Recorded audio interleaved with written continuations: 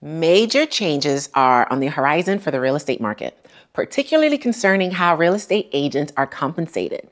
If you're considering a career in real estate or planning to buy or sell property, it's crucial to familiarize yourself with these upcoming changes. So, traditionally, when buying or selling real estate, individuals enlist the help of real estate agents to help facilitate the transaction. Sellers typically engage a seller's agent while buyers work with a buyer's agent.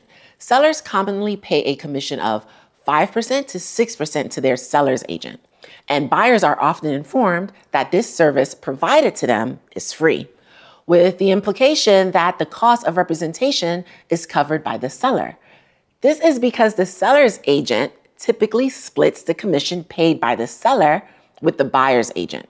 However, this long standing practice is undergoing significant shifts. Reforms are underway that may alter how real estate agents are compensated, potentially impacting both buyers and sellers. These changes aim to promote transparency and fairness in real estate transactions while ensuring that consumers are fully informed about the costs associated with hiring a real estate agent. So, what's the issue with that? Well, there are three that we'll discuss. The issue with the National Association of Realtors NAR, NAR, lies in several problematic practices that hinder competition among real estate brokers in the United States. These practices ultimately harm both home sellers and buyers. Here's the breakdown concealing commission and misleading buyers. NAR's rules allows for the concealment of commission earned from sellers, which can mislead buyers into believing that there is no cost to them for using a realtor's service. This lack of transparency distorts the true cost of real estate transactions and undermines informed decision making by buyers. Second, price fixing. NAR's establishment of a standard 5% to 6% fee for real estate transactions, with the fee then being split between the brokers, limits price competition in the market. This fixed fee structure restricts sellers and buyers from freely negotiating prices, resulting in a less competitive market dynamic. Violation of antitrust laws. That's the third one.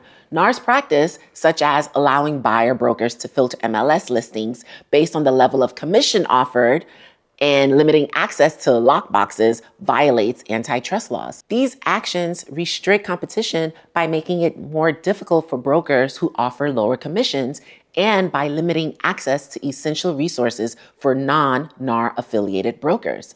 Such practices undermine the principles of fair competition and harm both the consumer and smaller brokers.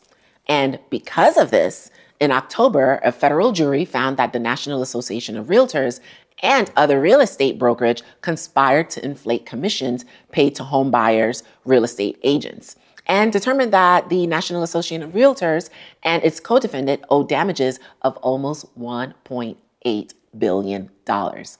The ruling was a result of an antitrust suit brought on by a group of Missouri home sellers in 2019, which argued that the industry-wide practice of requiring the seller to pay both the seller's and buyer's agent commission and other practices that resulted in the nationwide standard of a 5 to 6%, which is much higher than in many other countries.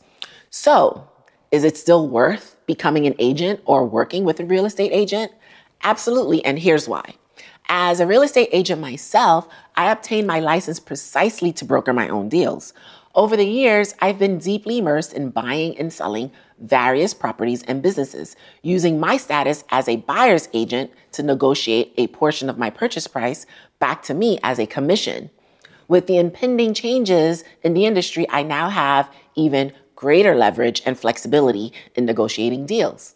Having a real estate license opens doors to numerous benefits, including access to valuable market insights, networking opportunities, and the ability to navigate complex transactions with confidence.